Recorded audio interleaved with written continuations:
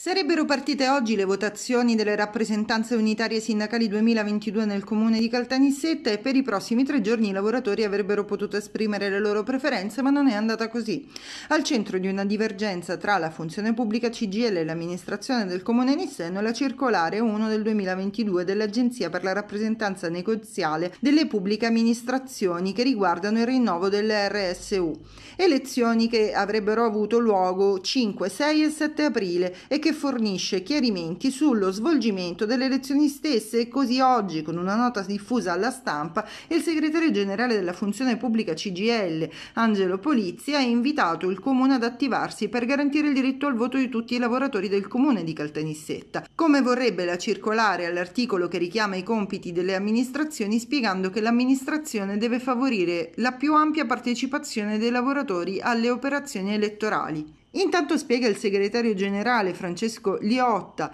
e richiama la stessa circolare che l'amministrazione non ha alcun compito né può intervenire sulle designazioni dei componenti della commissione elettorale che possono essere effettuate esclusivamente dalle organizzazioni sindacali che presentano le liste, anche qualora queste ultime siano state presentate tra l'insediamento e la costituzione formale della commissione stessa. Ed aggiunge: Noi abbiamo messo a disposizione la sede. La tre giorni si poteva effettuare da stamattina nella sala Sturzo. Una volta predisposto il luogo per il resto, ovvero insediamento e costituzione formale, è un'attività propria degli organismi sindacali, come dice la circolare.